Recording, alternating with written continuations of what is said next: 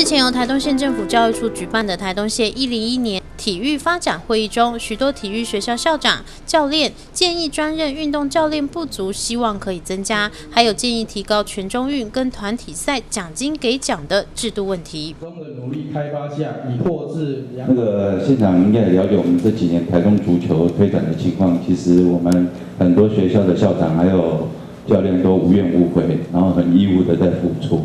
那现在我们呃面临到一个问题，就是我们足球还没有一个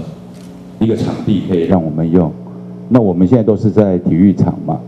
对，那体育场会比较有一点危险，是因为现在小朋友都长大了，脚力都越来越强了。万一球一踢踢到外面，在跑步或者是散步的民众，其实还有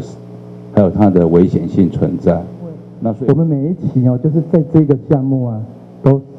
现在算是一半以上都几乎一半以上的奖金都是全国性、全省性的比赛，那很难去认定啊，都是看书面。那当然，如果是全国运动会、全民运动会，他不用看什么资须册，只要选手有这样的成绩的奖状，直接就是因为这个是参加过，都已经出到各地的那个初赛都已经结才决选到全全国性的比赛。为了凝聚县内体育界人士以及各方人士的专业意见，并且广征各方建言，日前也特别召开了台东县一零一年体育发展会议，而县长三个小时全程的参加，并且听取了体育先进的拙见，令大家相当感佩。但是体育运动大概可以分成三大项啊，我个人的看法哦。那今天这个在座的很多都是比我还专业，我们待会就听听大家的的意见。我个人觉得至少有三项，第一个就是全民运动，怎么样让生活在台东的人，这个基本上因为喜爱运动，大家都可以变得更健康啊，这个很重要。第二个是竞技运动，竞技运动就是我们代表台东对外出去参加比赛。